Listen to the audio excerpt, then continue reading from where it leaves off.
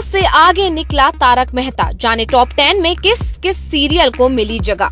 किसी भी टीवी धारावाहिक के हिट होने या ना होने का अंदाज़ा अक्सर उसकी टीआरपी से लगाया जाता है।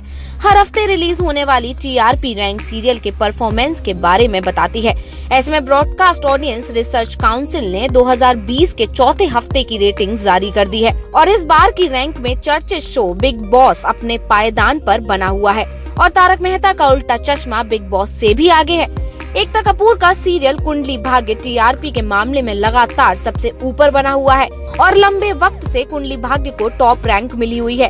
वही इस बार बिग बॉस पांचवे स्थान पर है और उससे ऊपर तारक मेहता का उल्टा चश्मा है, जो कि चौथे स्थान पर है।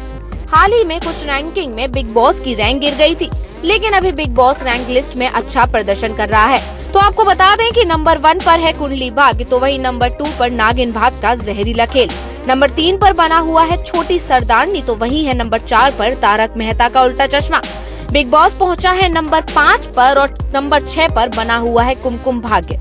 द कपिल शर्मा ने ली है नंबर सात की जगह तो नंबर आठ पर है ये रिश्ता क्या कहलाता है? इंडियन आइडल ने ली नंबर नौ तो नंबर दस पर है शक्ति अस्तित्व के एहसास की।